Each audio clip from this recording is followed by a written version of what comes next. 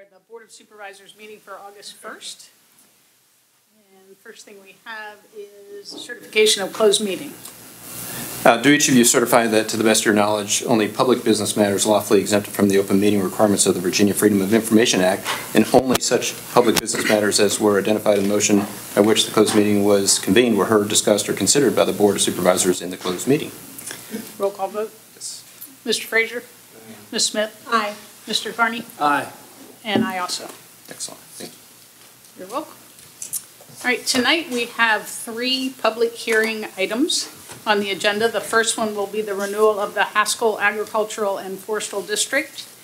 Anyone wishing to speak during this public hearing, if you'll please come up to the mic, tell us your name and your district. Um, And uh, we will hear from the courtroom first and then move to Zoom if anybody's on Zoom that would like to speak.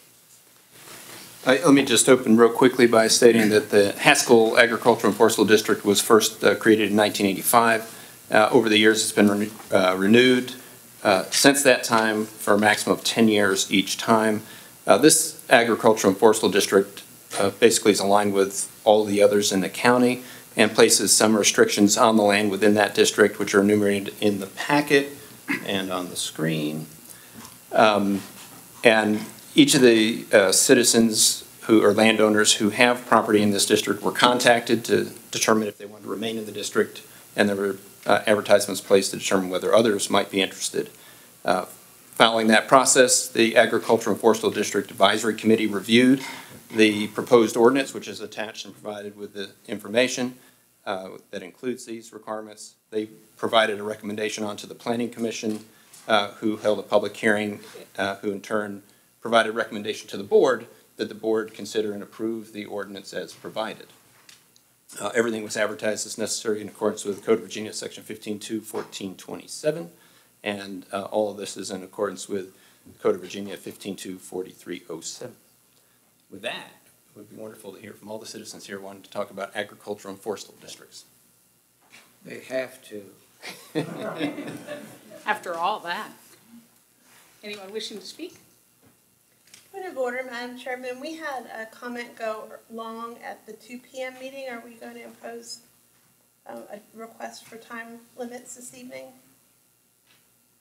On these particular items? Yes, ma'am. Uh, I don't know that we need to. Anyone disagree? Well, custom is three to five minutes. Correct. Anyone wishing to speak? Anyone on the Zoom world wishing to speak, please raise your Zoom hand with regards to the renewal of the Haskell Agriculture and Forestry District only. Not seeing any hands. I'm going to close the public hearing on this item and open it up to the board. Uh, Madam Chair, being the board's representative on the uh, Ag and Forestry District Committee, uh, it was unanimous to uh, um, recommend this for approval by the board, and I believe the planning commission was after that, but our planning commission rep is out of town, so I would say that uh, I would place this in the motion for um, Adopt the ordinance as provided. the ordinance as provided, yes, sir. That's the motion, I'll second it. We have a motion and a second. Any discussion? Hearing none, all those in favor say aye. Uh, Roll call, please. Oh, roll call, sorry. God.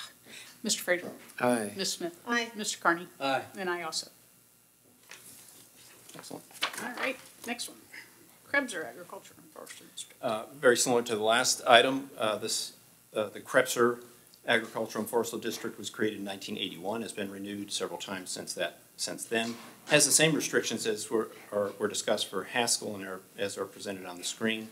Uh, This too was advertised uh, in accordance with the Code of Virginia, Section 15.2, 1427 for public hearing, uh, was reviewed by the Forestal District Advisory Committee and the Planning Commission, both with recommendations to the board for approval of the ordinance as presented. Open the uh, public hearing. Anyone wishing to speak, please be recognized.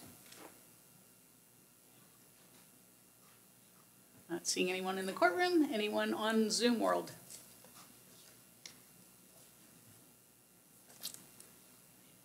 All right, not seeing anybody on Zoom, I'm going to close the public hearing. And Mr. Frazier? Uh, Same recommendation, Madam Chair. The uh, Ag and Forestry District recommended approval of this as well in the form as advertised. Is that a motion to approve the ordinance as presented? Yes. Well, it went so well the first time, I'll second it again. All right, we have a motion and a second. Any discussion? I may throw a monkey wrench in it this time. Oh. Roll call vote. Ms. Smith? Aye. Mr. Carney? Aye. Mr. Frazier? Aye. And I also. All right. Public hearing, GAP TA draft report. Uh, I think most of the uh, people here with us tonight are here for this topic. Um, The uh, Office of Intermodal Investment and Planning um, had a grant opportunity that was um, shared with the board uh, several meetings ago. Uh, The board elected to move forward with an application to receive that uh, funding, so to say, for a study to look at the pedestrian or multimodal transportation opportunities in Flint Hill and Sperryville. Uh, No funding passed through the county. It was the state consultant that was selected by the state and then assigned to this project. Uh, The county then worked through scoping with that uh, consultant and the state. Um, Part of that scope did not allow the consultant to perform any public outreach. I'm not sure why they set the projects up that way. Uh, Public outreach is completely left to uh, the county if you want to have some.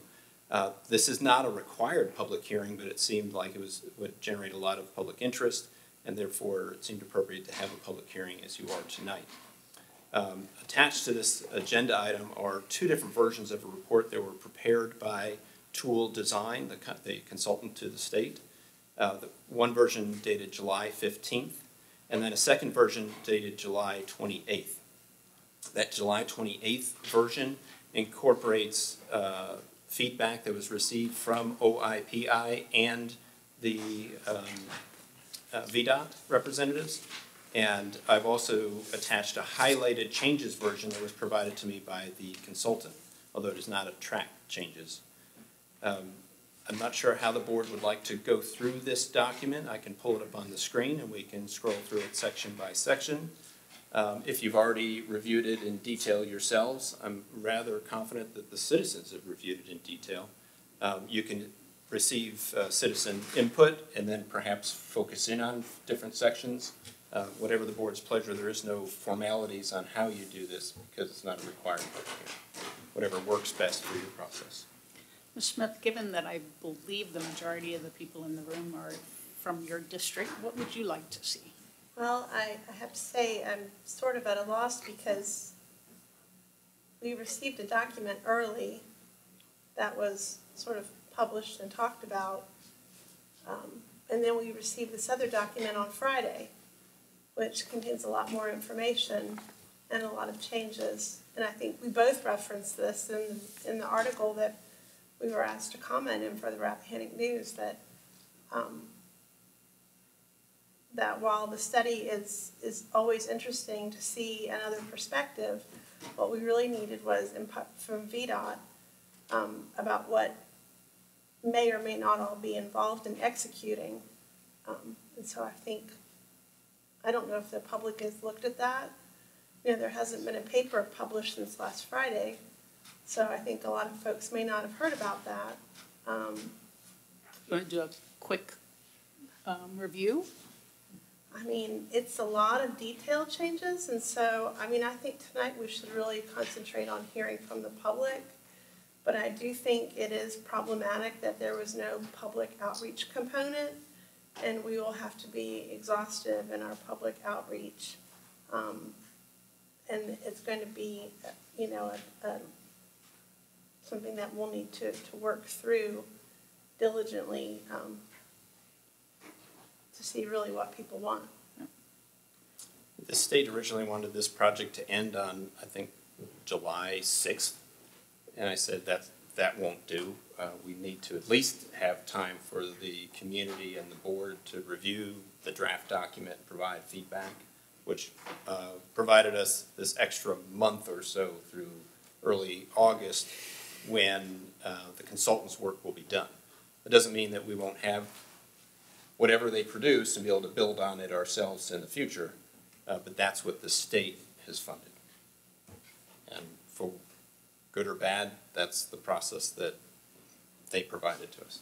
And, and I just know that I've had people even reaching out to me today, you know, wondering what's going on and why there's a change document and, um, you know, asking me what's the basis for the discussion. And it's a lot to track. But I, I know that there's a lot of people that have come out tonight and, uh, want to speak on it. And so I, think we should, we should use it as a hearing. It's, should, we should be listening.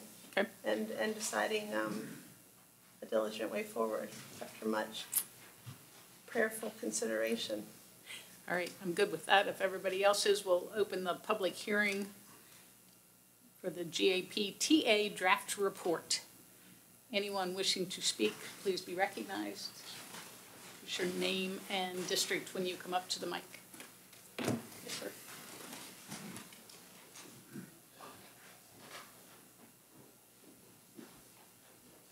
Scott, Scott McBride, Piedmont District. Um, I just heard about this thing this morning, pretty sudden. Uh, you wanna bring this up on the screen? Page six of a.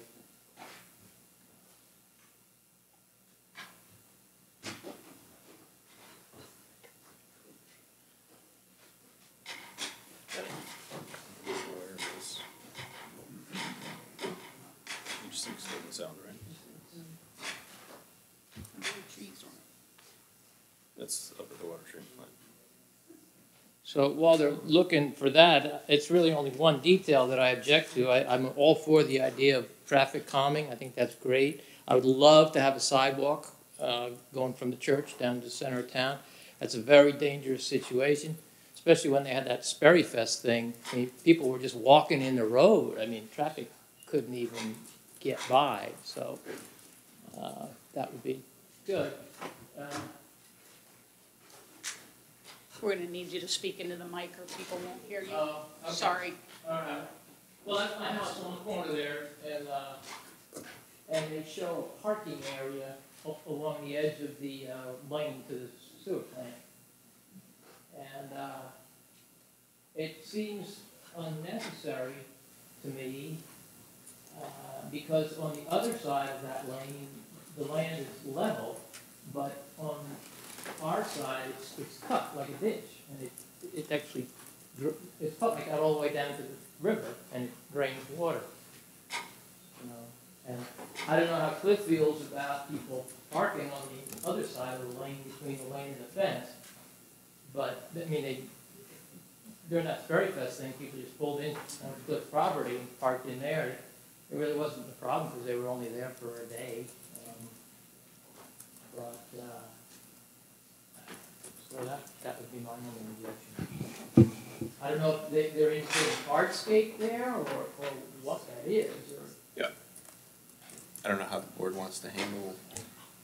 I, I think this is one of the situations where we probably should answer people's questions if we could. Yeah, um, I would just say this is, uh, very high-level conceptual work. And, um, the consultant has identified that area for parking. There's no concept of whether it would be hard surface or what the material would be.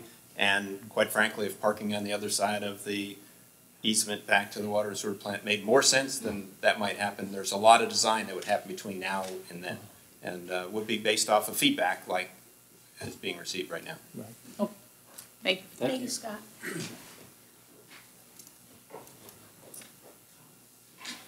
Jump in the back. Hi, good evening. Yurka Taylor, Piedmont District as well. Oh, I'm sorry, could you say that again? Yurka Taylor, um, Piedmont District as well.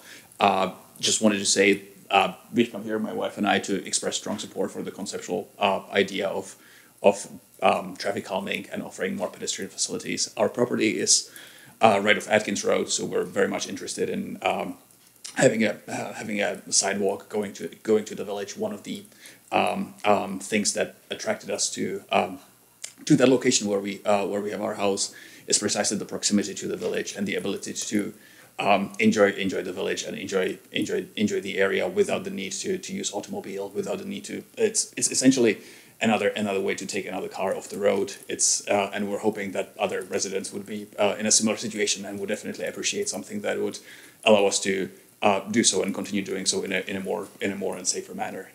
So again, just wanted to reiterate great support for the conceptual idea without going into details. Thank you. Thank you. Anyone else? Yes, sir. Uh, Bob Trafton, Piedmont District. I also want to voice my support for the, for this plan, or a plan, not necessarily this plan. I like a lot of aspects of this, the sidewalks, the pedestrian access, the traffic calming, some of those aspects. I, I do walk downtown Sperryville frequently, and I find the sidewalks a bit narrow. I often step off the sidewalk whenever a vehicle's coming because a, a truck with a wide mirror could easily hit you because it's very close. And I also walk up to, say, B and B Napa Auto Parts occasionally and just walking through the grass. So a sidewalk in that area would be very beneficial to myself. Thank you. I'm in support. Thank you.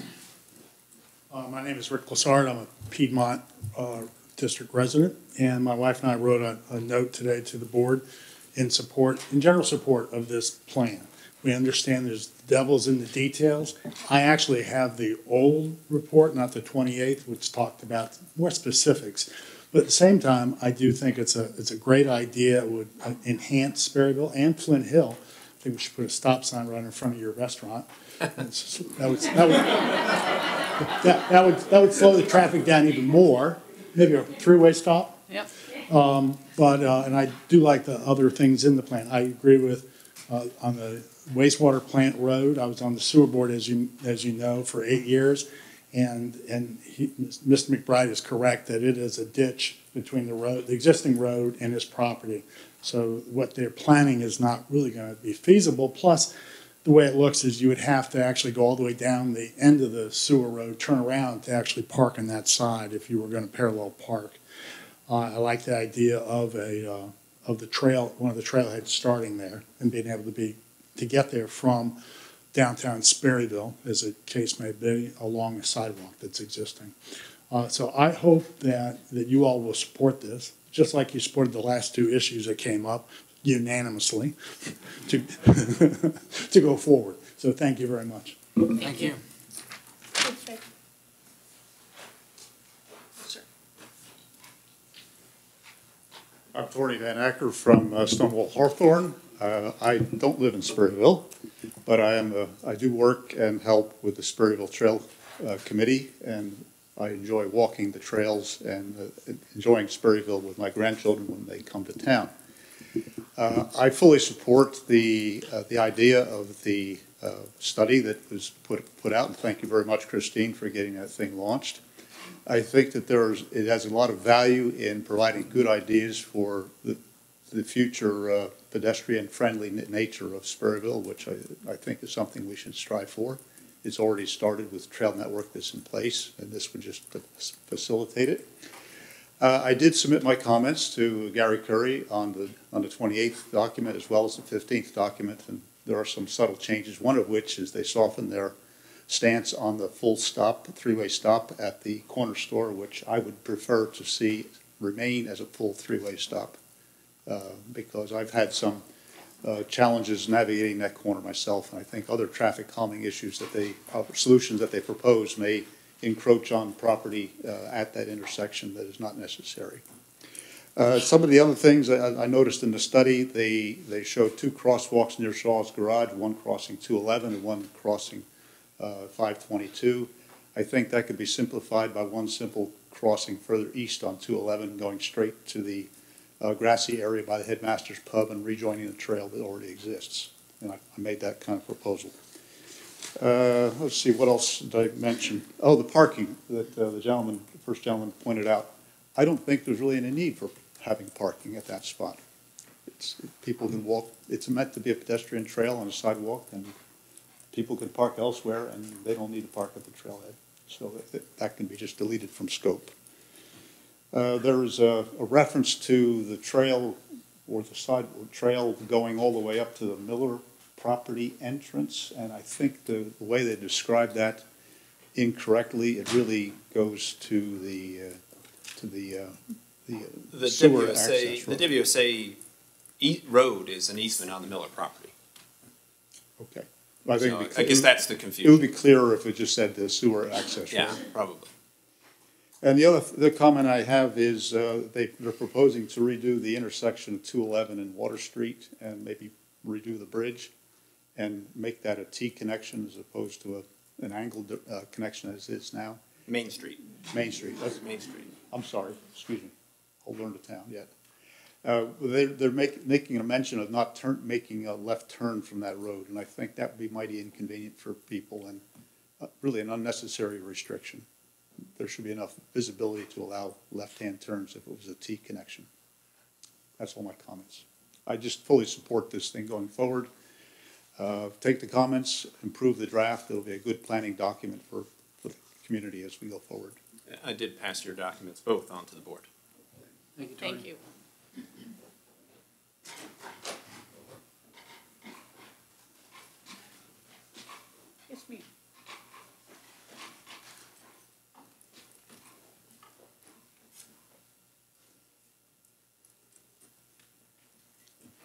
I'm Barbara Dolphy. I don't have a speech planned, but I just want to tell you that as a member of this community, the efforts that the Sperryville Alliance has put into making our community more accessible to everybody has been wonderful.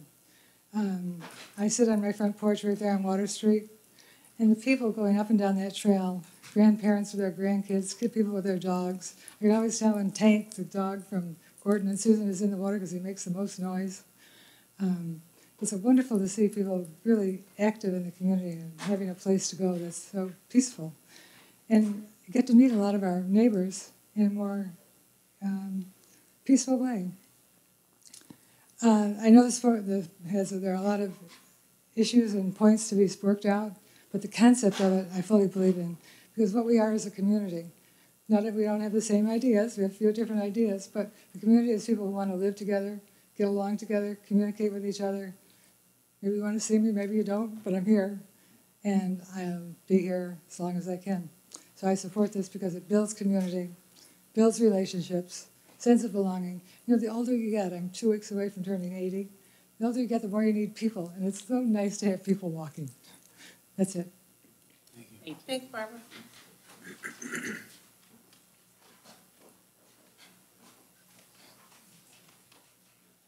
Hi, Kerry Sutton in Piedmont District. Uh, First, I want to thank you for doing the study. Many of you know I'm a big fan of study, getting data and understanding what the shortfalls were and getting experts to tell us that. Um, So I think that's important. I 100% agree with Christine that we need community input. That's an important part of anything that you do in a community. So I encourage that, that step once we uh, get beyond the final report. Um, on the theme of studies, many of you know that we actually conducted, the Alliance conducted a study of, of Sperryville in 2020. Um, uh, we interviewed, we got survey responses for 220 people, 221 people, asking them a number of questions. One of those questions was, what were the amenities they most wanted in Sperryville? The number one um, priority or amenity that people wanted were sidewalks, speed calming, traffic calming, and streetscape.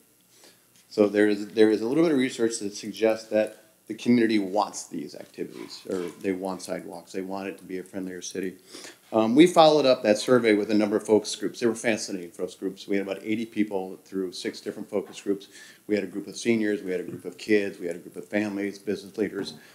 Um, generally, their, the major theme you heard from them was they wanted Sperryville to be a community, have a sense of community, um, the ability to get around and walk around. One of the most fascinating one of the, one of the sessions was um, held at um, Kathy and Fred Eggers' house on Thornton Gap Church Road. It was the first one we did, and it was the most fascinating because we had a lot of seniors there. In fact, my good friend Carolyn was there with us. Um, Margaret Ann Whalen was there. Um, Lillian Ayler, uh, Charlotte Jenkins. I- I- I- Eileen, Eileen Johnson, Johnson was there. Fascinating discussion. We did it in their front yards because COVID was in, and we had a beautiful view while we were doing it. But one of the things they, one of the many topics they talked about was that kind of loss of a sense of community.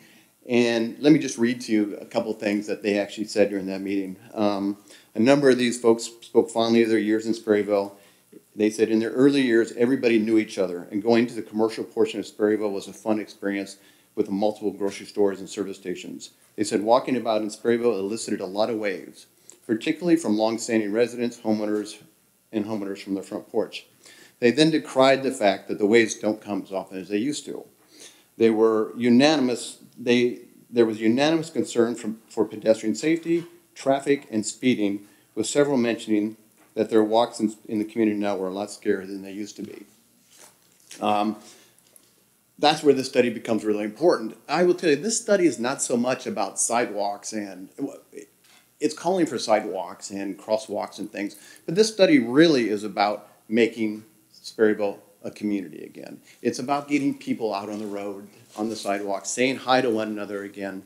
Um, it is not an economic development tool. It's not about bringing tourists here. In fact, the purpose of this document is actually to slow truckers and traffic, slow truckers and tourists down in Sperryville and let us gain control of our streets again.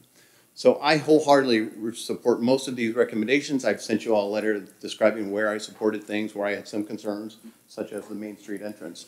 Um, but the point of this is actually to allow Jen Cable to run up and down 211 like she does on a regular basis, or me to walk down to Johnny Jenkins and buy tomatoes rather than having to drive down. Um, Nina Kirchman, who works for me, I saw her walking home across that Main Street Bridge and on 211. It's simply dangerous. Some of my other neighbors, uh, Joel and, and Judy, who actually walk frequently around Sperryville, need safe spaces to walk. So I encourage you to, to engage this discussion, think about how we can make Sperryville a friendlier place again. I do want to say one thing about funding because this topic comes up a lot.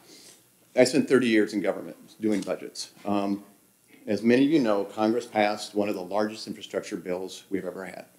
That money has been appropriated and it is being distributed to the states. That money will be spent. It is on us if we decide to invest in our community or if we let Luray take our money and invest in their community. So I, I encourage us to find our path forward and to begin to seek those grants to actually pay for this work. It's important work and I think it'd be great for our community. Thanks, guys. Thank you.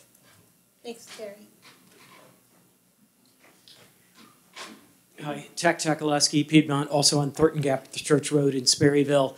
Uh, speaking in support of, uh, first I want to thank you for doing the study and support for most of the things.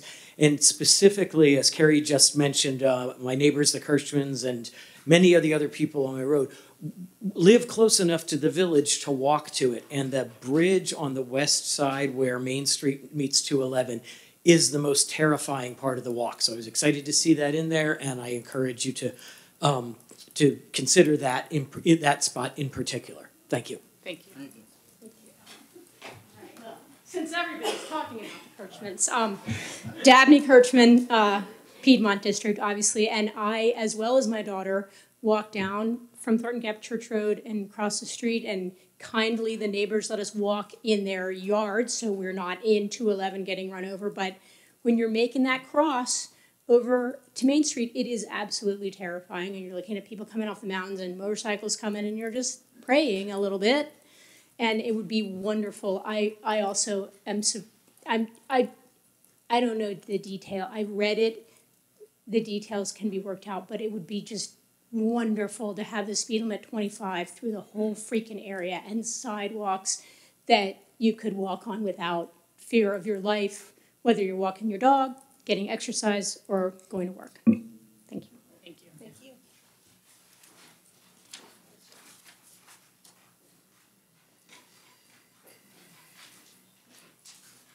I'm Ray Bach. I'm from Sperryville, Piedmont. I just want to speak to the bridge on Main Street. Uh, you know, we're all concerned about flooding as it's occurred in Kentucky recently. That could happen here too. And one of the one of the problems with flooding is when you have a bridge like the one on Main Street with the center column, there's a log there right now that's caught up against that column. And um, that's the beginnings of a, a, debris jam which could back up water, uh, what is it, west of Main Street and up to, you know, and, and I don't know if you remember two years ago, three years ago, we had that two or three inches in one hour and water was over 211 uh, it would be much worse if uh, some of that debris piled up there.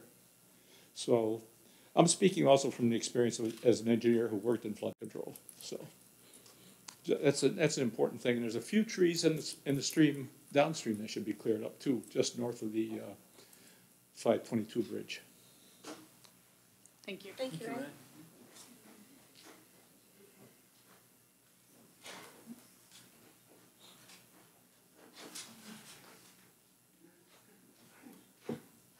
My name is Judy Kress, and I'm here to comment about the walking trail in Sperryville, the whole issue. You know, 25 pages is a lot of information. And for us to be able to decipher all of that this evening, um, I had heard today that the best thing we could do would be to send it to the Planning Commission. Is that the thing? Is that a possibility? I mean, I'm gonna comment here, and getting into too much question and answer is a slippery slope. Mm-hmm. But, um, the planning commission is one of the options. Mhm. I think it would be remiss of us to send it down without doing some public outreach of our own. Okay. And, um, I mean, I don't wanna skip to the ending, but, uh, I was thinking we should, you know, kind of work in pairs along with our planning commission representative and do, uh, public listening sessions. Well, I hear a lot of like, okay, this is not the real deal. This is not what we're gonna finally have a final paper. So, you know, we need to know exactly what we're signing up for before we do, you know. And I'm glad this gentleman back here knows us for walking. My husband and I walk all the time. I'm not so sure why everyone, yes, there's a lot of traffic, but I do know to wait for that traffic to go by.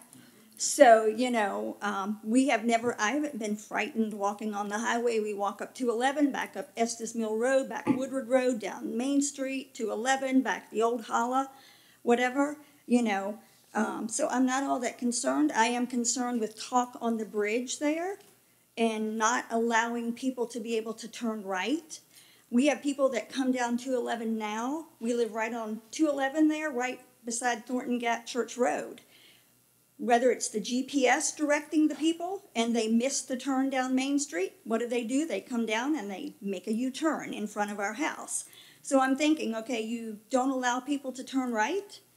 We will have that continuously, and you want to put a sidewalk up in front of my house? Just, you know, for what? What is the purpose of the sidewalk up to Atkins Road? Well, I have to say, and this is one of the pitfalls of having somebody do a study that doesn't have any public interaction. Mm-hmm. And I, and I do understand your frustration, because even as a public official, I had to be hands-off as well. And so, you know, there were a lot of things that I read this, in the study that I thought, well, that won't fly. Mm-hmm.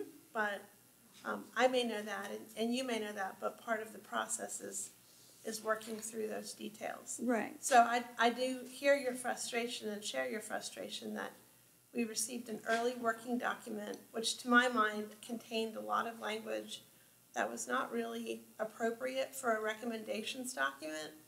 And then we received language from VDOT that added a lot of conditions and was, as you said, a, a lot of dense reading. And I'm still not concerned I'm still not convinced that all of the situations um, that present difficulties are represented in the document because it had no local buy-in when it was crafted. Mm-hmm. So um, I, I hear you, and I, I share a lot of your concerns. So at the bridge there in Sperryville, is there consideration for one of the R- RRFB crossing lights or whatever? Well, I mean, I think you're, when I read about RRFB crossing lights, and if, if these are board decisions and we should seek a lot of public input, Mhm. but I do know when I see those lights, they're in very urban areas. Right. And we've had flashing lights before in the village, Mhm. and people didn't like them, and we ended up taking them down. Right. Because they weren't a fit for our rural character.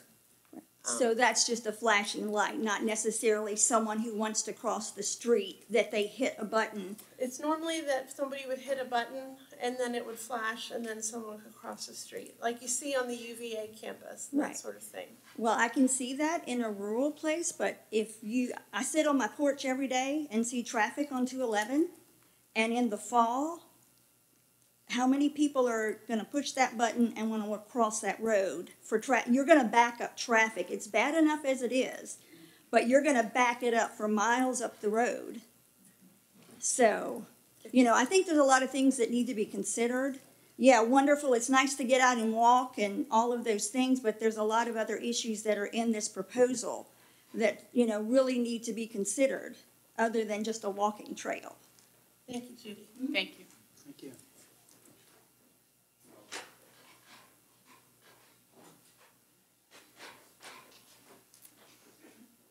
Joel Kress, I'm also Piedmont District. I just want to add to what my wife has spoken. We live in 11979 Lee Highway, so we are directly beside uh, Thornton Gap Church Road and, and Ryan's Road, one on either side.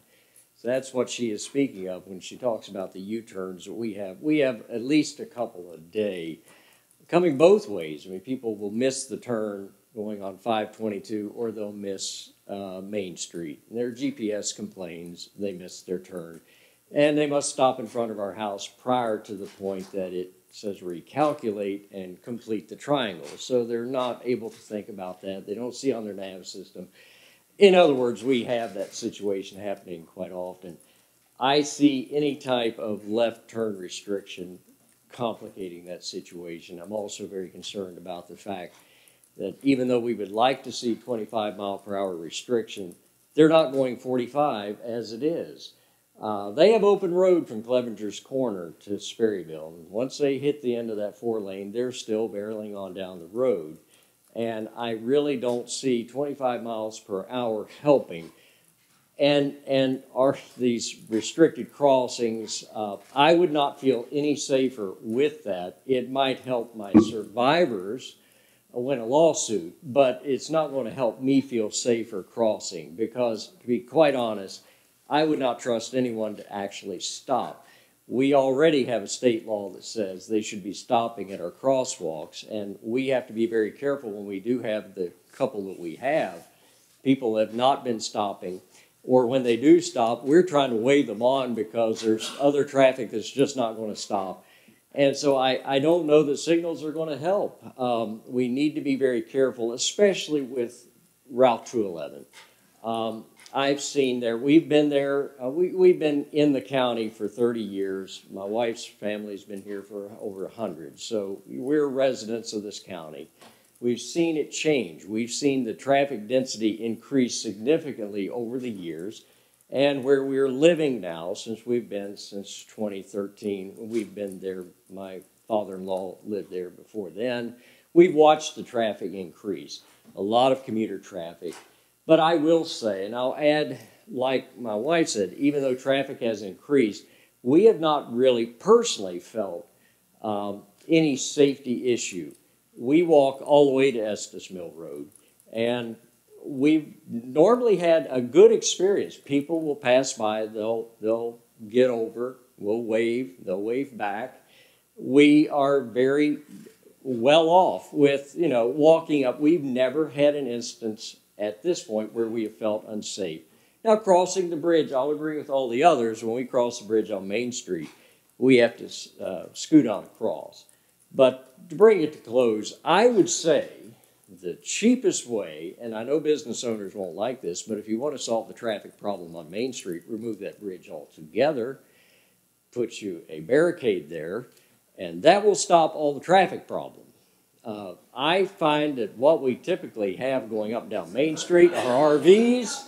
We have 20 foot trailers going up through there. A lot of through traffic on Main Street would stop GPS routing problems would stop. U-turns in our front yard would stop if you just simply took the bridge out. Uh, we can put a little park there for everybody. We have a little platform so we can put our bands and they can play and whatever, you know, benches on the river maybe. But to actually, if you want to fix that problem, that's what I'd say would be the cheapest solution. Just remove the bridge altogether.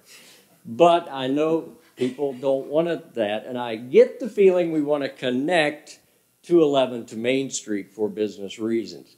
And just be upfront with us as taxpayers, as county people, that's what the issue really is. But if it's traffic control or pedestrian safety, I'm not sure that this plan is really addressing that and needs more study. Thank Thank you. Thank you.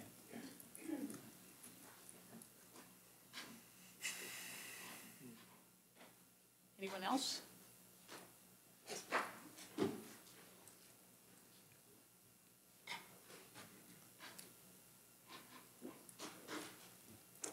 Good evening. I'm Patricia Brennan. I'm a Piedmont resident. I have a business in Sperryville, and I also live in outside of Sperryville for 41 years now. And um, my business is Thornton River Art, and I employ you to come and sit on my porch and see how fast traffic goes by every single day. And I worry about people trying to get to my shop because if you step out of that sidewalk, you are in the road. It is, Carrie's building's already been hit twice. Um, I, I don't know about all the other plans and all the other parts of the detail of, of this study, but I do know that somehow we have to slow the traffic down on Main Street before someone gets hit. Because it's, it's inevitable, and I would hate for that to be a liability and nobody did anything about it. So I don't know what the answer is, um, but I'm so happy for this study. I'm so grateful for you to be able to consider a solution because there's definitely needs to be a solution to this problem. Thanks. Thank you. Thanks, Betty.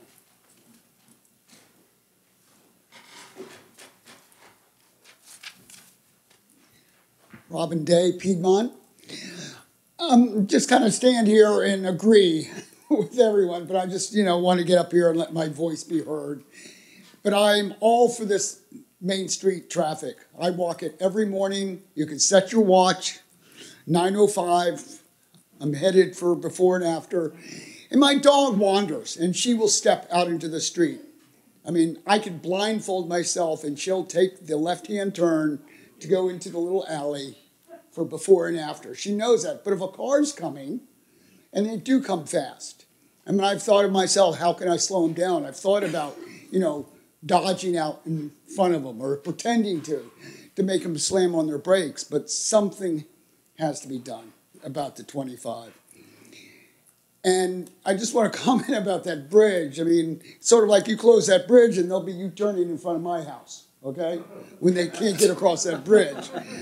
But, uh, I mean, it's one thing to say, well, that won't work, that won't work, that won't work. If we're going to get up here, let's, if we don't like that idea, let's give ideas what will, rather than saying, well, you know.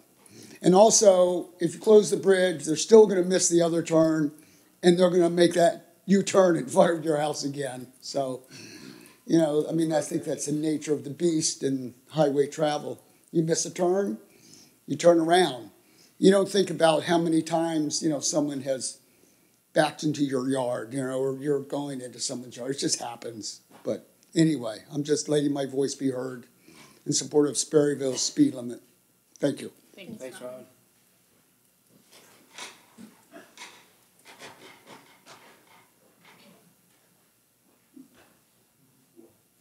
I'm Fran Krebser from Wakefield, and I agree with all of the suggestions that have come in tonight. But I'm so glad you're going to look at something for Wake, for Wakefield and Flint Hill. Those people come through Flint Hill like crazy. Tractor trailers, cars. It is really frightening, and there have been several accidents there. I really appreciate all the work you all do, and I hope you continue to look out for the safety of Rappahannock citizens because we really do need to fix both these problems. Thank you. Thank you.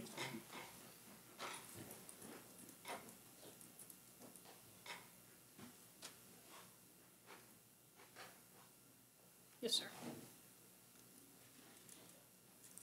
Tommy Atkins, Jackson District, but I also was born and raised in Sperryville. And I to continue to have a house in Sperryville and I have property in Sperryville, in the village. And I have a lot of history with Sperryville. I go back to 1946 when I was born there. I was born and raised in Sperryville, Virginia. And I migrated to Amissville. But this, this study is a good study, but there's a lot of things that needs to really be looked at there's a lot of devil in the details of this, this report. This, accept the fact that this report mainly is dealing with the business of Sperryville. Back when I was raised in Sperryville, every house or every building in there had a family in it. It was no business in there. There was three stores. There was Jimmy and Mutt Atkins store. There was Ed Esther store. And the corner store was owned by, uh, I forget the name of the elderly people. Swartz, correct. And we walked the streets of Sperryville to go to school. They came out of, they even came out of Woodward Road. We all joined and walked down. The ones of us that was going to Sperryville Elementary School, one through seven, we walked to school. We didn't have a problem. Yeah, there was less traffic back then. Uh, but we didn't have a problem with being hit. I never heard of a case of anybody being hit in the village of Sperryville of students walking to school. But there were students back then. There was families. The teachers at the uh, Sperryville School, Miss Della Hitt, Miss Moffett, the second grade teacher, lived in Sperryville. They had a home in Sperryville. They didn't have to come from Blue Luray, or they didn't have to come from uh, Front Royal or somewhere to come in here to teach. They had a, they had a home in the village of Sperryville. And that, that is all gone away. I know history, you know, history moves on, things change. But, you know, the street, Main Street has been paid, recently paid. Nice job. Yes, somebody is going to say that increase, increases the speed limit. There is a way to decrease that speed limit. Speed cameras will stop it. Speed cameras will stop it. When you start, and you don't have to have a person there to, write, have that ticket sent to them. It gets their tag, and it gets mailed to them. You don't have to have a, you don't have to have a deputy there to do it. It can be done. Look at DC. Look at the millions of dollars that they they rake in a speed speed speed cameras. So that is a way. And there are other com, traffic calming methods that can be applied. You know, you have areas in the metropolitan areas, Fairfax, Prince William, Manassas, Loudoun, Arlington. I've worked there for 35 years. I know a little bit about the traffic. So there are other traffic calming methods that can be applied. And we just need to look at it, study, and work with that. But um, I, I do think you've got a, you've got a long-term plan here to work with. But I don't think it needs to be the most critical thing to be worked on in this county at this present time. I don't think it's the most critical thing. Housing for our people is one of the most critical things needed in this county. Housing. I don't know how you want to talk about affordable housing, whatever you want to call it, but we need to have changes made in this county that the people, families, can be raised in this county and they can achieve their dream of owning a little piece of property in God's country. Rappahannock County is God's country. They can own a little piece of property and have a home on it. And they can raise their family in the area that they was born and raised in. That, to me, is one of the top priorities in this county that needs to be worked on. Thank you for listening. And I know y'all have a difficult job. I understand it. And I appreciate everything you do to help the people in this county. Thank you, Tommy. Thanks, Tommy. Remind us, the speed cameras can't be used in, Yeah, uh, Code of Virginia does not allow counties to deploy speed cameras unless it's in a construction zone or a school speed zone. And that's only recently been allowed in the last couple of years. But some cities probably, it's different rules. Well, okay, that's good. Could I just say my whole thing? Sure.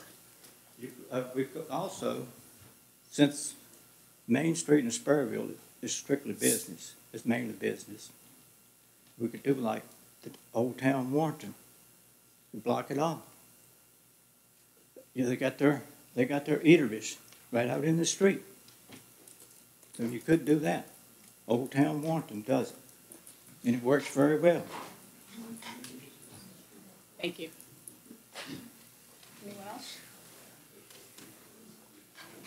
Yes, ma'am.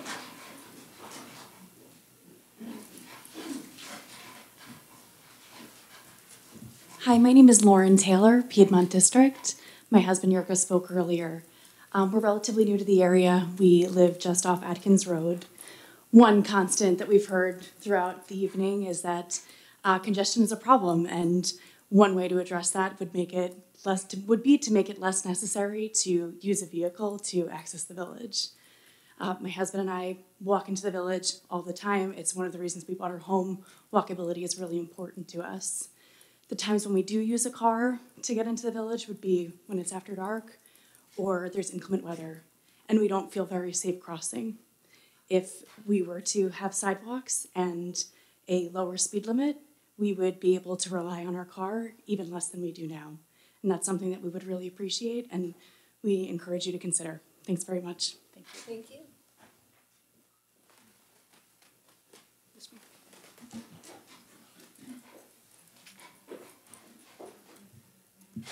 Diane Bruce, Sperryville. Uh, I am in favor of everything that we've heard here tonight, everything that's in the uh, plan. I think it'll be very difficult to execute a lot of it. Maybe some of it's unnecessary, uh, but something needs to be done to get started, and this is the way to start.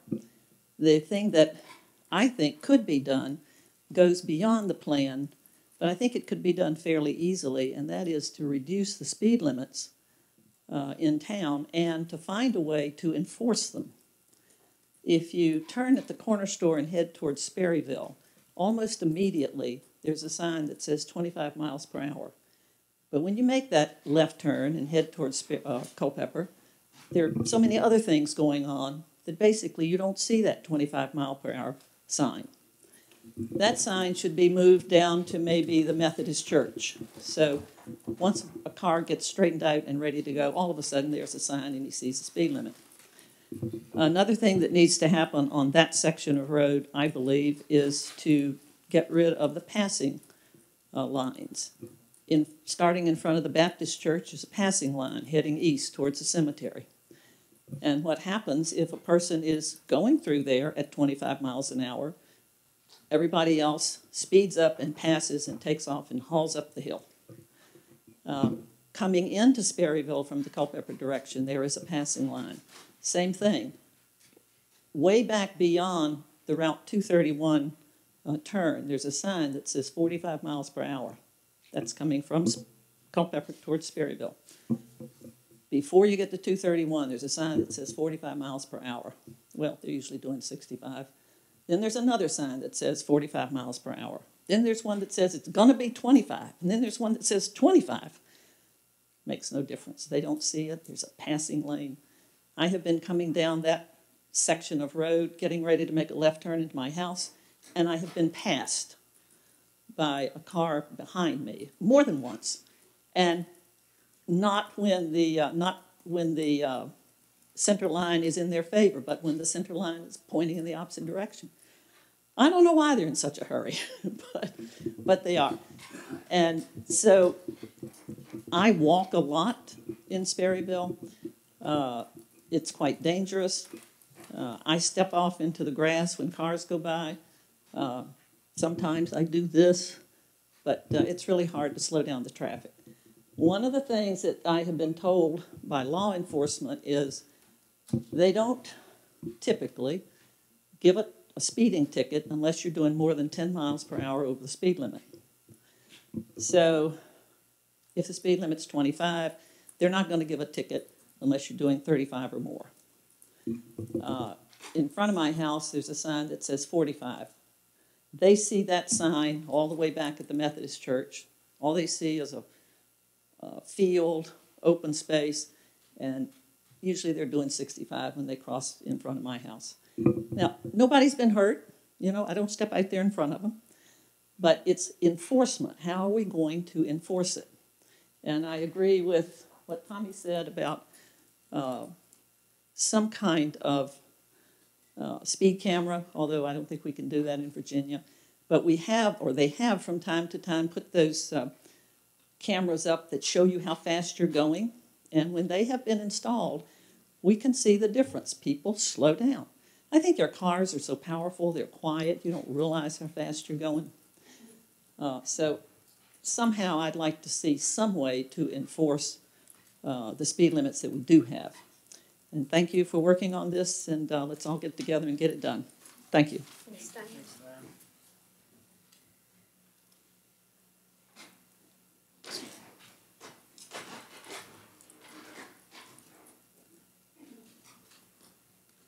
Mary Catherine Ishii, um, Sperryville, Piedmont. Um, I, I, I sort of in a listening mode on this study at the moment. There's a lot in there, and uh, it's important to hear what you know my neighbors think about this. But I will say, in Woodville, which is a smaller area than Sperryville, even um, I slow down every single time I hit that area because I know there is a policeman sitting in the corner of the church lot, and he catches every single person that goes there.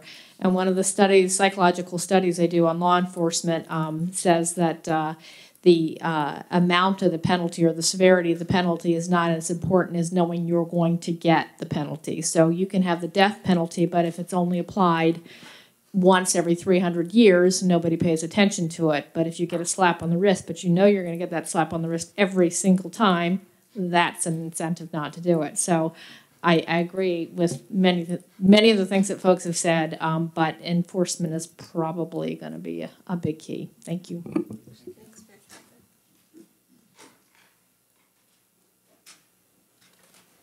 else in the courtroom?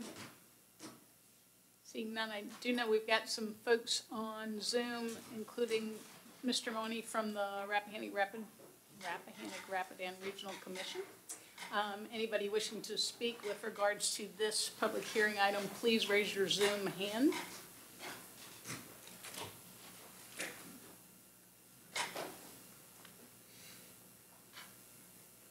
Just in case people don't know how, gonna go ahead and let them unmute. Okay. One last time, anybody on Zoom wishing to speak? All right, seeing none, I will close the public hearing, seven fifty-eight, and open it up to the board.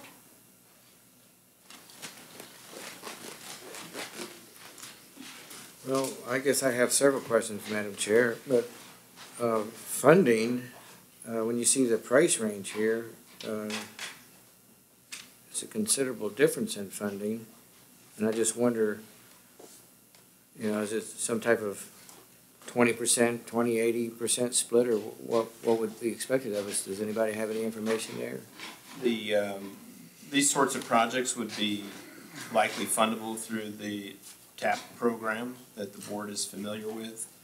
Uh, as was referenced, uh, today, um, the various pandemic relief infrastructure bills have significantly sweetened the pot on those grants over the next four or five years from about eight hundred and fifty million a year to one point four million.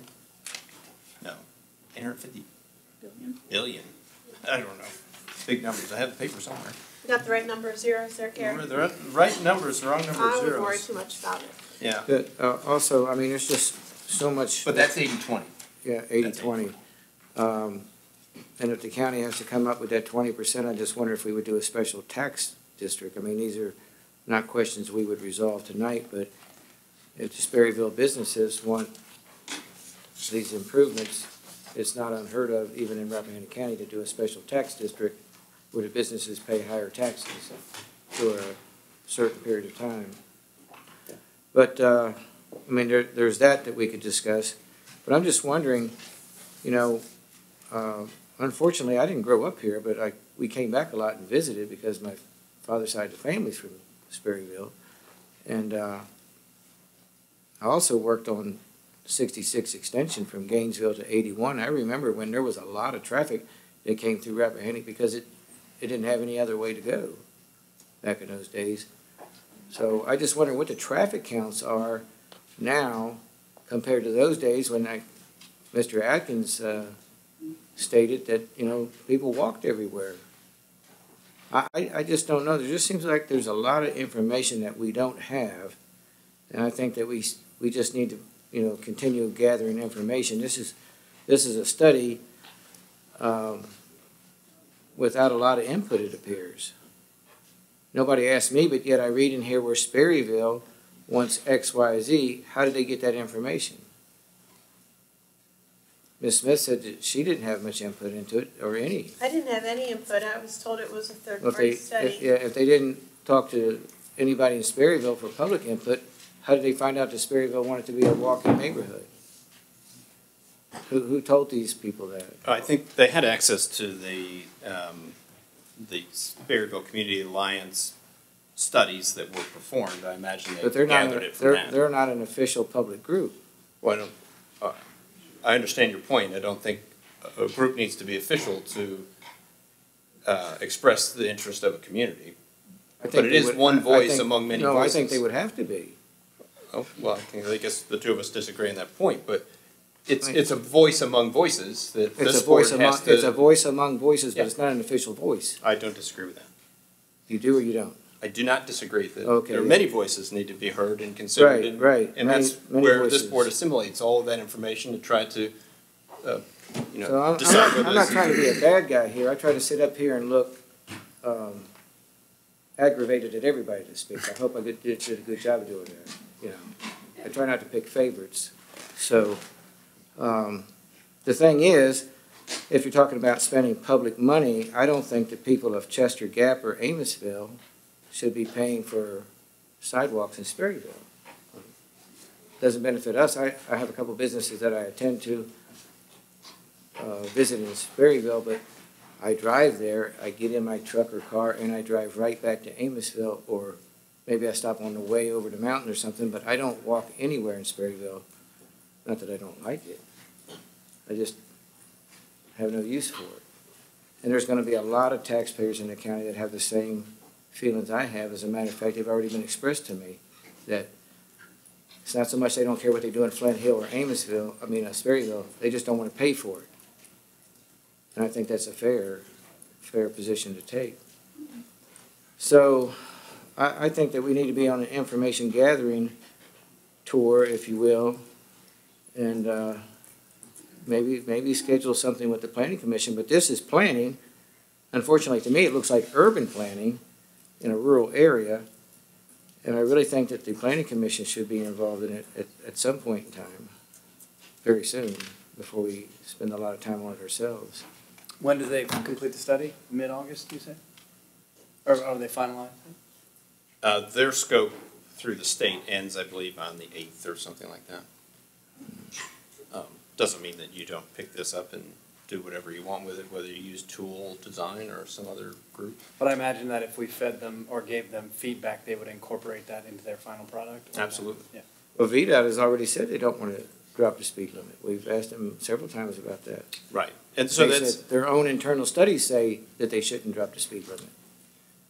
and, and that's based on the conditions on the ground. And so as VDOT's input into the twenty-eighth report makes clear, and as, as I noted to a few, that the speed limits on the roads are consistent with the pedestrian accommodations on the road. And so if you have a sidewalk and crosswalks, then that affects the speed limit analysis and what appropriate speed limit is in place. But, but crosswalks, I was on Eads Street in Arlington, uh, not too long ago. It's probably been three years ago because the vehicle that I was driving has been off the road for about two years.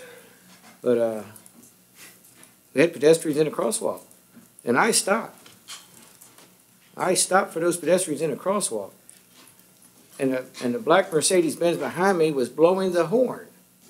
So I had two choices, either, you know, obey what I thought was the law and stop for pedestrians in a crosswalk, or bowl them over. And it made me so aggravated that I drove straight from there back to Warrenton to the DMV and went in and got the driver's manual and looked at it. This is pre-COVID. And sure enough, it's still in there, stop for pedestrians in crosswalk. But crosswalks don't mean nothing to certain people. And I've said this before, as long as DMV keeps giving driver's license out to stupid people, none of this is gonna help. That's where the problem exists, is you have stupid people driving cars. But I'm not gonna say that in public.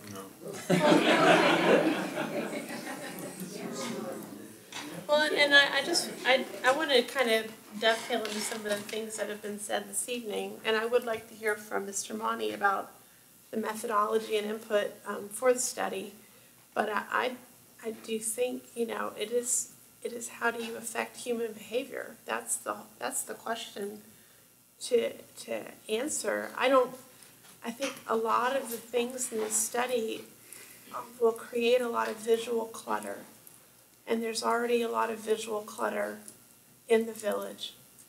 I'll always, already a lot of signs telling people what to do, but they don't necessarily do what the signs tell them to do. And we see that with tractor trailers that end up in the village where they don't belong, people that don't slow down, people that pass when there's no lines on their side for a passing lane. So how do you affect human behavior in, in ways that will work? And um, I, I don't know if everyone here tonight is aware, but the board uh, did move and unanimously support um, speed display signs in both Flint Hill and Sperryville last November. And we're waiting for staff to conclude um, where those are viable and oversee their installation because that is a very effective way to control behavior. It's Woodville, They- Woodville's too. uh, possibly Woodville. And they generally lower speeds. Um, they're very effective by five to 10 miles an hour when there's that reminder that this is what the speed limit and this is what you're doing. The other beauty of those speed displays is while it's not issuing tickets, um, they do have a way to collect the data that they are telling folks at the same time. So over time, we can build um, you know, a data set that will show this is the behavior in that area and, um, and it really needs to be improved. How do we improve that behavior? So I do think it's incredibly unfortunate that there's not headway on that and that we need to set a deadline on that. Um, we approved it last November. I wish it was done already. Um, I know we've had some back and forth about this because our VDOT representative was here at the two PM meeting. Um, but to me, that's a valuable, valuable tool that now we don't have. Um, we're coming up onto another season where we'll be exceptionally busy. We're already busier. We see it in our uh, receipts every month um, for meals and lodging taxes and sales tax. So we know that businesses are very busy and there is a lot of traffic and we're heading into a fall. And um, what's the timeline where we feel we can accomplish getting those in place, Garrey? Uh, I was trying to think back what the action was, and I think I was empowered to work with VDOT to identify the locations and bring them back to the board for consideration and of ultimate approval. Um, uh, But uh, as we discussed earlier, it's a function of priorities, and if this is the board's top priority, then um, you can make that be known, and we'll shuffle the deck and make sure that this is the top priority, and other things will wait for this to be done as opposed to the other way around. What are the other things on the list?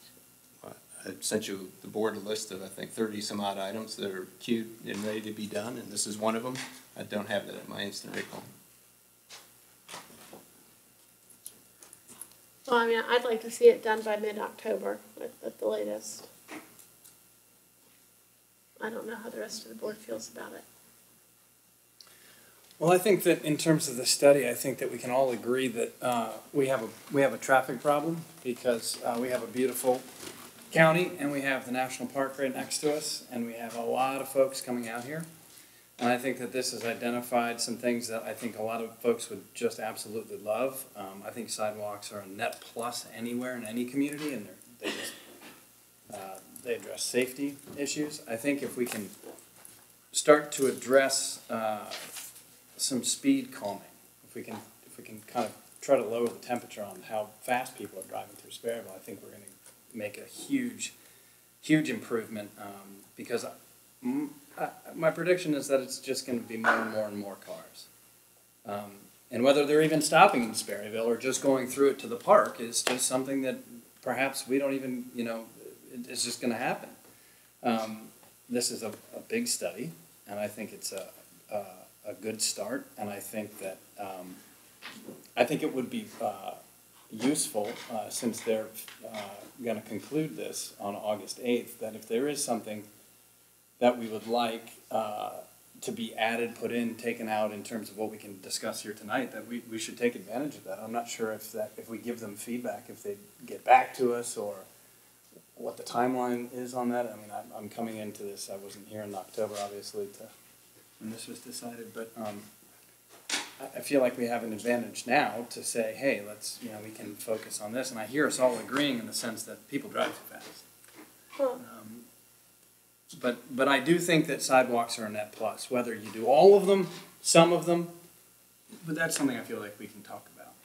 Well, I mean, I think you bring up an interesting point, and, um, you know, I- and I, Mr. Nesbitt's not here tonight, but, uh, you know, in walking some places in the village, um, there would be big implications for homeowners if sidewalks are installed that are ADA compliant, because there's just not a lot of real estate in some places in the village, which is, I think, conversations we need to have before we rubber stamp sidewalks.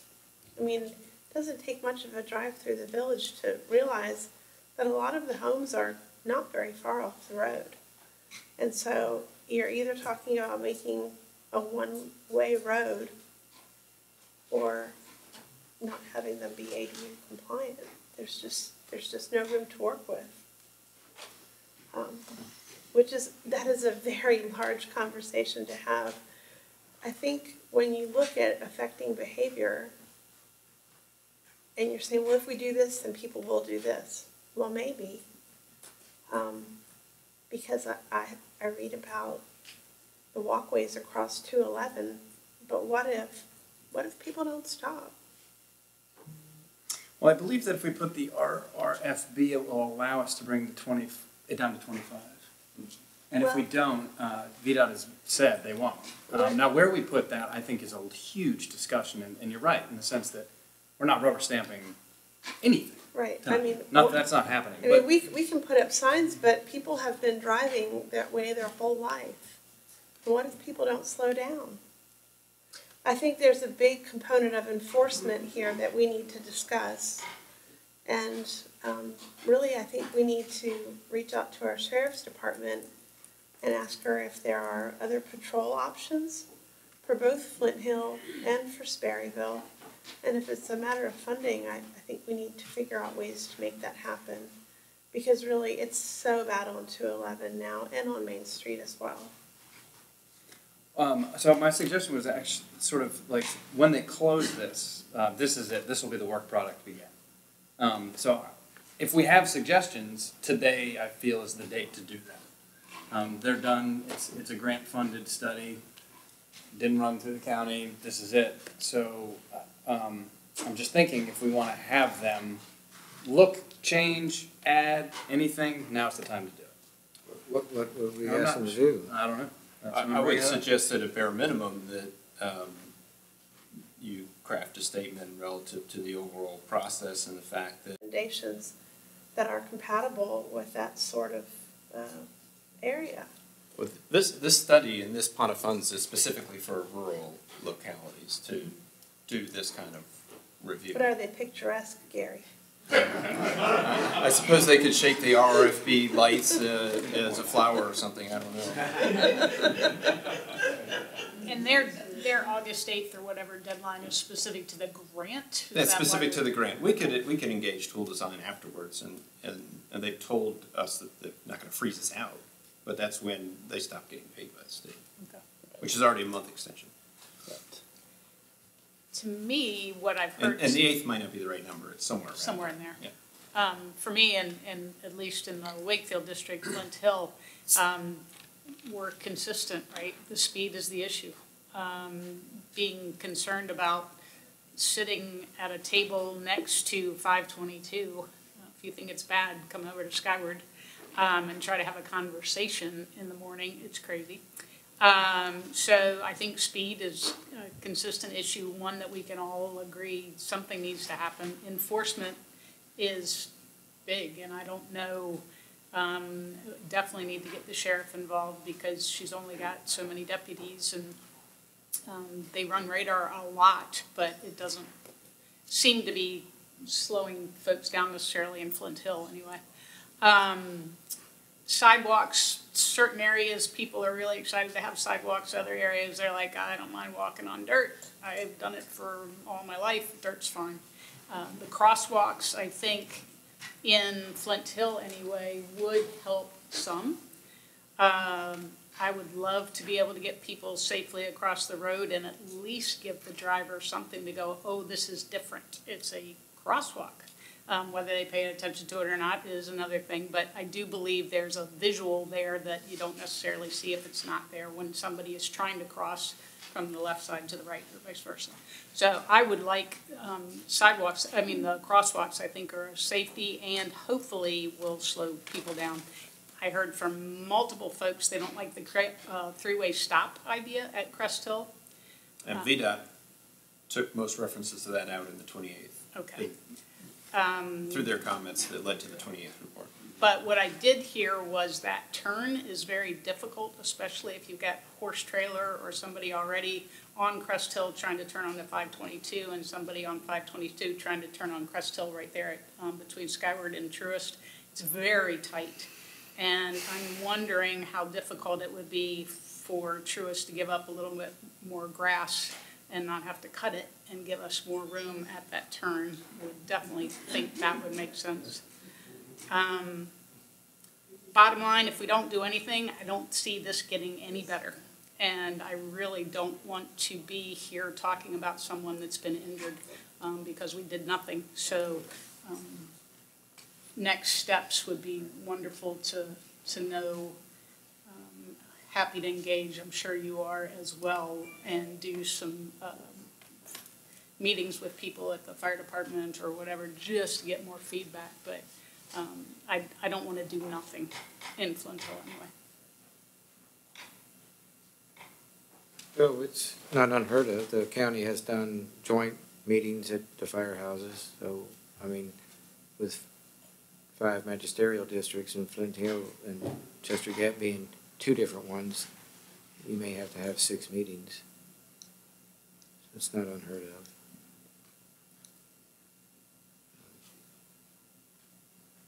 Since Patrick's on the call, should we ask him for any insight, input? Mr. Mauney, do you have anything to add after hearing all the conversation? Um, just making sure you can hear me, uh, Chair Donovan. Yes, sir. Uh, yeah, if I could, and, and I appreciate the opportunity um, for yourself chair and members of the board. I, I did want to, to speak to Supervisor Smith's question about um, sort of the process and the, the methodology that was used. Um, just very briefly, i in my opinion, the, the methodology that, that Toole Design used was, you know, some initial feedback from um, county staff as well as um, regional commission staff, just in terms of here's what we've heard in terms of some of the needs both in Flint Hill and in Sperryville. Um, and the majority of the work that they completed was really through uh, a field field visit um, to both locations. Um, you know, if you actually, the, the item that's on the screen right now sort of talks through the, the scope of work and review of available GIS data, which obviously is, is pretty limited um, for those areas, mostly consisting of VDOT um, centerline data and then some of the other um, available statewide uh, data sets. Um, and, and, then really the, the task that they you know completed was was going through and, and doing some of their from that from those field visits, from aerial photography review, um, making some, again, sort of planning level conceptual design ideas um, designed specifically to address the, the ideas that were talked about in terms of traffic calming uh, and pedestrian enhancement where it makes sense. Um, the other thing I would say from, from my perspective is that this is, I think as Mr. Curry has mentioned, this is really a planning level document. Um, the, the board is able to, you know, I think the idea of going out to some, some community meetings is, is a good one.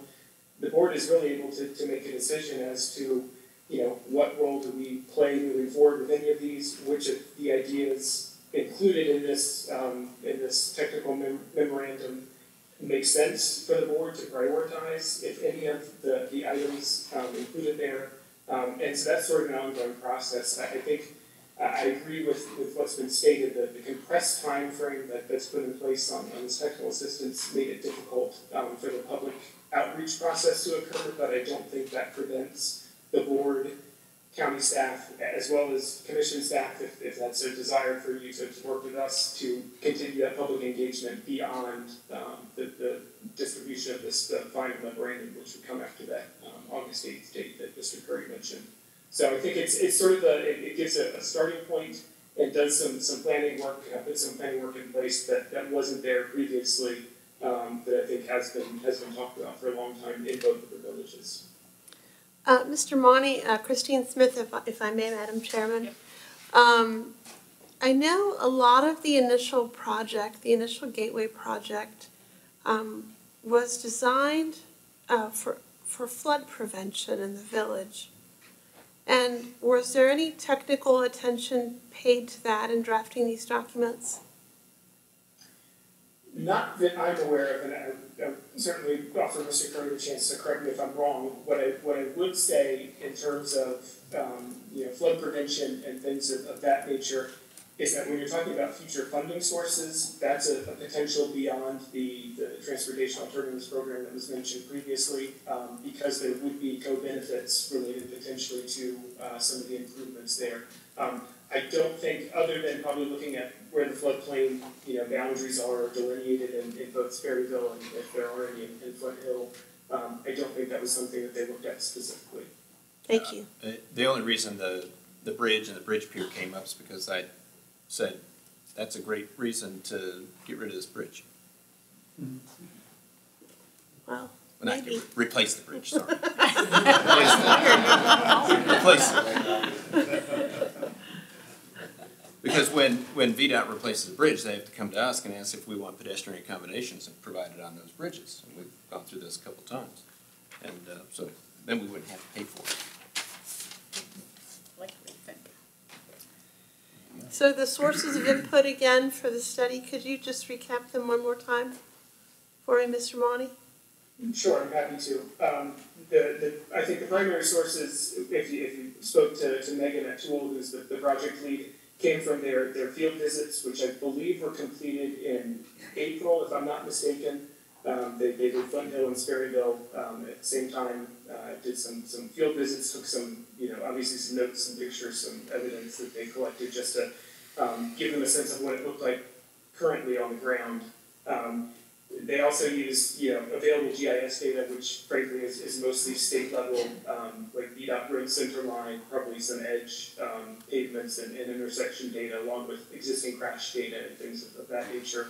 Um, and, and then really from there, I think probably had, you know, conversations with, uh, Mr. Curry, I I don't know if there's anyone else from county staff, spoke with myself and one other staff member from the commission who's no longer, um, with our office, uh, just to kind of get a sense of, you know, what we had seen and sort of the the existing background and existing conditions.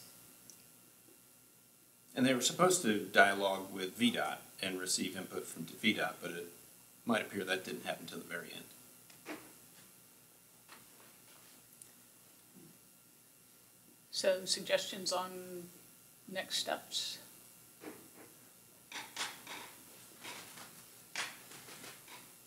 Speed displays, increased enforcement, um, or at least increased patrols. Um, and again, that's a dialogue with the sheriff and possibly a, a funding discussion there as well. Well, I've mentioned it before and I've seen it in, in operation. You can park an empty cruiser and that will get a lot of people to slow down.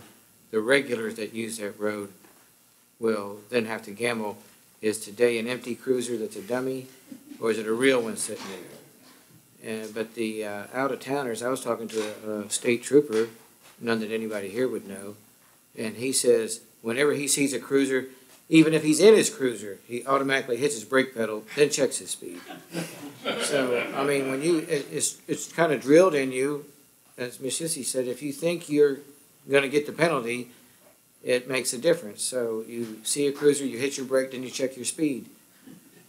unless you had it on cruise or something, but, I mean, it's just, it's just a reflex action. And, and Fauquier did it for years. They would park empty cruisers around with some dummy or something sitting in it. And again, you had to take the gamble, is it a real one today or is it a dummy again today? But people coming through, you know, uh, tourists, uh, they see a cruiser, they hit the brakes. I did have someone ask about the additional two hundred dollars for speeding, um, added to the sign. I don't know if we can check into, Yeah, there are some specific requirements on where that can be placed and where it can, and it's a process. You have to ask the state to do it. And it's just like the speed display signs. Um, there's various metrics you have to meet in order to put those up. And the extra two hundred dollars does flow into the local coffers, but I think that's If- if a deputy It's really gives a the- ticket. the- What's that? If the deputy gives a ticket, because we- Right. if a state trooper gives a ticket, it Right, goes it to the has to be state. lo- under the local ordinance, yeah. I mean, I'd like for Sperryville and Flint Hill to have the same kind of reputation that Woodville has. Yeah, and I don't think you can put those two hundred dollar fines on a primary highway like in Flint Hill or Woodville, maybe on Main Street in Sperryville. Amissville, we have them shooting radar a lot, but the problem is it doesn't seem to slow them down. It's almost as if they've memorized the times or something. I've had them pass me on the left with my left-hand turn signal on just before I start making my turn. Mostly in my tractor, but in my truck also. They, they don't care. Again, as long as they give stupid people driver's licenses, we're gonna have meetings like this. Well, and I know Mr. Curry and I received um, some video from Elizabeth Melson at Off the Grid, and I, I know we've talked to them, and, you know, we took that as high as we could with VDOT uh, regarding their passing lane and their speed limit. And uh, it's chilling.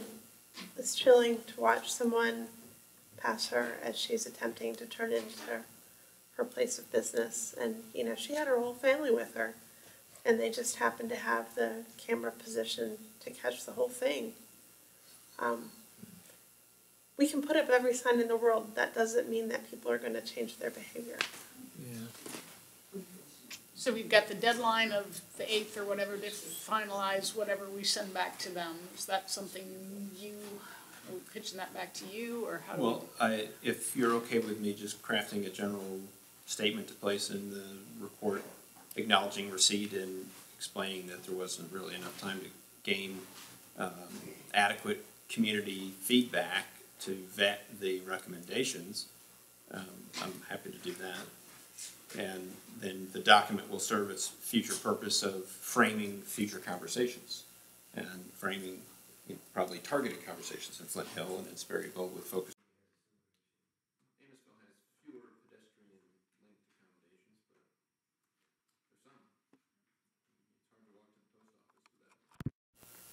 It's, it's hard to drive down the road.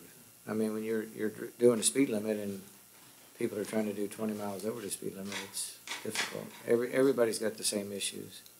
Um, I will say that, um, as I informed the board, we did apply for a grant for, to attempt to fund our SROs. And it's a, non-planning planning clause, so if we're successful in that, then we will free up funding to hire additional patrol deputies, which could, uh, with coordinated efforts between the board and the sheriff, maybe you could come to some conclusion on where they would be best allocated. There's a lot of ifs, uh, in that, a series of ifs, but, you know, it's an opportunity. Well, I mean, I feel strongly enough about it that I think we should consider using some monies from our contingency fund. Of course, it's a matter of how much and where does it come from, but um, if more patrols are needed, I, I think that's a conversation we need to have and we need to figure out the money. Definitely a conversation for the sheriff. It's uh, capacity limitations as well. We do receive some DMV grants for targeted enforcement, which is a lot of what you see uh, deputies out uh, just doing speed patrols. Can we Uh, use But ARPA people have to sign up. Is that a possibility for ARPA funds, because it's general government um, Yeah, yeah. matters? We've And already run out of Because we, funds. we got less than ten million dollars, we can pretty much use it for anything now, the way they changed the rules. We've pretty much run out of ARPA funds unless we get some more. Uh, no, there's, we're not, I don't believe we're going to get any more, and there are, there's funding left. Not much, we allocated quite a bit for the All Points thing. I guess it depends on what you call not much. Not much compared to one point four million, but much compared to hundred thousands, hundreds of thousands of dollars. So I personally would be interested in doing the listening tour or whatever you want to call Well, it at my, To, um, to follow up on it though, ARPA funds were for, uh, infrastructure, and what you're talking about spending it on salaries, it's not quite the same thing. In the long term, if we're gonna, if we're gonna build some of this stuff, maybe ARPA funds would work for that, but that would be ARPA funds not used in another area. But the problem is, if you got reoccurring expenses, you wouldn't use one-time ARPA funds. If you used it, you'd do it, do it knowing full well that either the money's gonna run out and you have to replace it, or the service is gonna stop. Right. It only runs to, what, twenty twenty-six? Well, the money, I would separate your thought from the money, because we receive less than ten million, literally, you can use it for anything. I mean, practically, general services, general government services, so, um, that's not a concern, it's just the continuing obligation. what's the best way for us to reach out to the sheriff? Because I would think having a deputy or someone at the meetings would be beneficial, someone that could speak. We can, we can ask her to attend the next meeting. Yeah, or, I mean, I think she would receive, I can't speak for her, but I think she would receive, um, conversation from the supervisor from that district, uh, in her office, better than being held to account at a microphone. I'm not trying to hold her account, but I mean, then we're going back to what we talked about earlier. I understand. Today, we have one supervisor talking to a constitutional officer about what we want to see, and it's not an official board action. I- You can ask her to come to a meeting too. Do you have any concern if Ms. Smith and I went and met with the sheriff? For, the- I would ask the board to empower us to meet with the sheriff for the purposes of reporting back to the board. Well, that, that's a little different than one or two members just having a meeting with her. And neither of you are on, the pu- only one of you is We're on all public clear. safety. I counted, I ca- I counted to three several ways, and we were all clear. I think it'd be a great way to get the conversation going.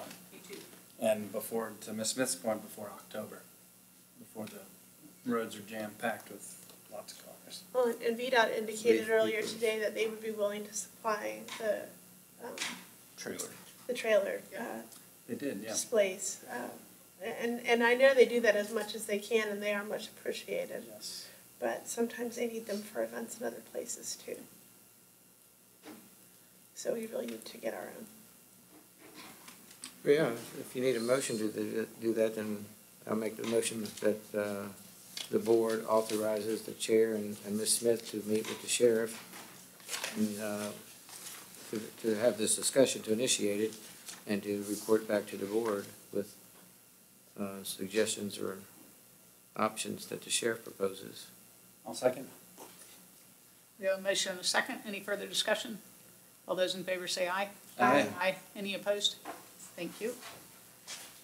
Uh, Now, we're, And do we need to make a motion to empower you to write, you, the, the thoughts for? Motion's always in order, I, I mean, what I, what can't happen is that you Right. can't say, you write a paragraph and send it to us and we'll let you know if it's okay. Uh, right, um, but I think I get the gist of what the feeling is. I thought the summation you provided earlier was very succinct and appropriate, so I would um, empower you, or I would, I would make a motion that we empower you to um, write a letter back to the consultants, um, giving our feedback on the report. I'll second. all right. Motion and a second. Any further discussion?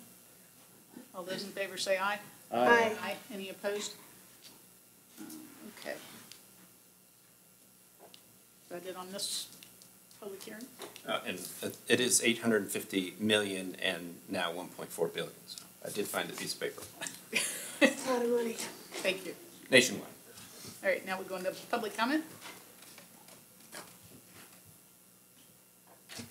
Because you're all still here, we're going to have public comment. Anybody wishing to speak, um, please be recognized, same drill, come up and give us your district and your name, and this is about anything. Still with respect to this report.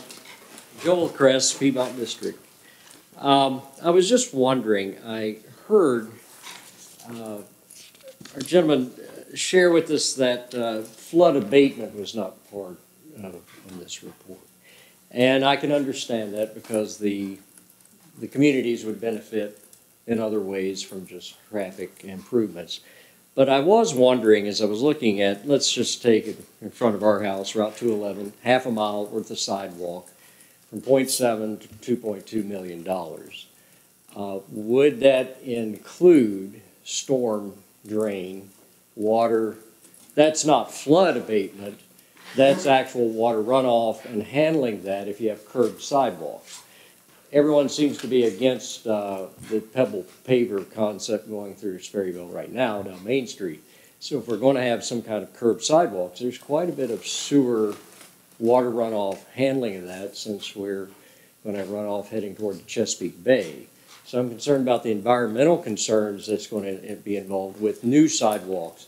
Main Street has at least some form of storm sewer in Sperryville, but there's a lot of new space here we're talking about that's going to involve a lot of, of costs. And I, I personally would see $2.2 million for a half mile sidewalk be rather um, low uh, if you have to dig up and put in and install all that amount of water handling. So that would be a major concern that would have to be studied, I, I think, uh, and considered. That's all I have to say. Thanks, Joel. Thank you. Yes, sir. Jack Takaleski, Sperryville. Um, since you're going to be meeting with the sheriff, I would like to ask that you also consider talking about the um, having the sheriff's deputies aware of the rules for cars and how close they can be to bikes. And I imagine to tractors. I think this, the same rule is that a car has to give at least three feet of space, and uh, quite frequently that doesn't happen, and that is also an issue for safety. So, thank you. Thank you. Uh, Rick Lassard, Piedmont District. Uh, I agree with the gentleman about stormwater, that that's an issue along Main Street. Also, um, in many places where the sidewalk is proposed, there is, the sewer is below that sidewalk, so that needs to be coordinated. So that they don't, if they ever have to pull the sewer up and the lines up in the road or underneath the sidewalk, that they take some responsibility, VDOT, if they're gonna put a sidewalk over top of a sewer, that they take responsibility for it. Thanks, Rick. Thank you, Rick.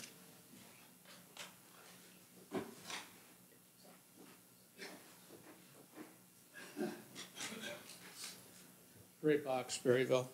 I'd like to follow up on Mr. Frazier's comment about the police car being a detract, you know, a, a speakable calming uh, device. On Long Island, there's a community I used to be involved with, and uh, what they did, they had a patrolman named Manny, which was really a mannequin.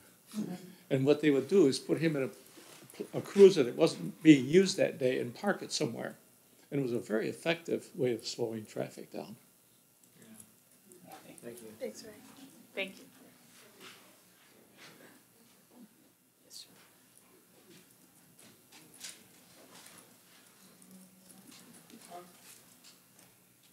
Scott McBride, Piedmont. There was a mention of uh, creating a special tax district uh, so that only the people or the businesses in Sperryville would finance these improvements.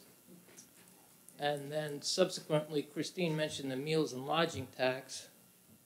And it got me to thinking that, uh, well, if, if the folks in Chester Gap and Amissville don't really care about what goes on in Sperryville, so they don't want to pay for it, wouldn't it make sense then that, that the uh, meals and lodging taxes that are generated in Sperryville be reserved for exclusive expenditure solely on Sperryville?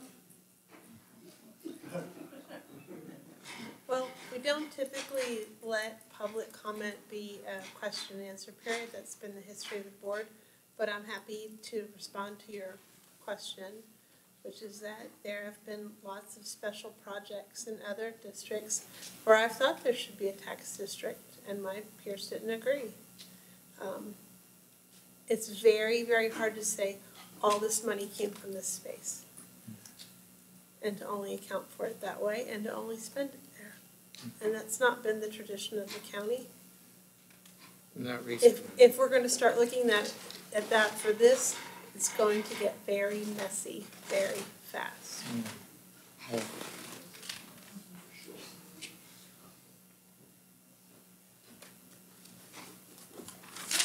Anybody else, public comment? All right, Zoom world, anybody left in Zoom world that would like to speak during public comment?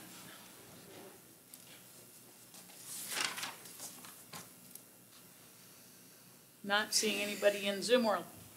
I'll close public comment, eight forty-two. Actually, in the past, that's how the county board, when we took care of the roads, let's say we, our predecessors, pre-Byrd Act, they did have levies that they levied on, like Wakefield District to build five twenty-two or, or whatever, so it's not unheard of in this county, it just hasn't been done in our time. I time. mean, in my time on the board, I, I think particularly the build out of Chester Gap. I understand. And, and, you know, I, I proposed that, and I think you agreed, and, um, it didn't fly. So, um, and staff seemed to think it was cumbersome to break out only supplying based on the revenue from that district. So if we're gonna start doing that, we need to start doing it on several things. Yeah, if we're putting in infrastructure though, I mean, that's the thing about building a new school, you usually finance it for twenty years, and we build one that lasts, uh, what, since Thomas Jefferson, I think, was president. He may have gone to school there. He may have, but, I mean, that, that's just, you know, that's, that's kind of normal procedure, it, it does happen. And, uh, the, the argument was that if, you know, the Sperryville crew runs a call in Little Washington, well, then that throws your tax plan out the window, and it might. So there is some, some, uh, traction to that argument. But there's not much traction in the argument that people from Chester Gap and Amissville are gonna be walking around in Sperryville. There's just no point in it. It's very fast. I don't know anybody who went to Sperry Fest. I did. No, Chuck said he did. You did? That's two people. You, three people. But I, you were there. Yeah, he was there. But you don't live in Amissville. No, I don't. And I don't think anybody from Chester Gap went. Maybe they did. So the, I mean, there's, there's reasoning behind it, and, uh, you know, also if the people feel that they have to pay for it, even though it might take ten or twenty years, they might be a little less, uh, excited to ask for things. There's, there's always that. It's an, it's, it's a disincentive to want government involved in your front yard. Thank you. Um, I would entertain a motion. I'd like to make a motion to adjourn. Thought you were gonna make a motion to create a special tax district. Motion, do I have a second? Second. All those in favor say aye. Aye. Aye. Thank you, everyone.